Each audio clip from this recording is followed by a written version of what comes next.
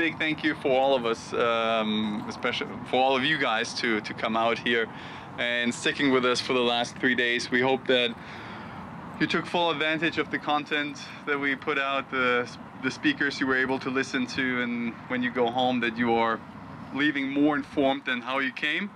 I think this has been the the ultimate goal for us as we put the try to put the coaches in the center of of everything that we that we try to accomplish. Uh, it's a unique opportunity we have to do something like this. Uh, the clinicians, I've heard nothing but good things. Make your make your club better, make your players better. And I liked what Almeida said about the compassion, humility, and treating them nicely. Don't yell at your kids. Don't yell at the referees. I love football. It brings all of us together. So have a safe drive home and be good.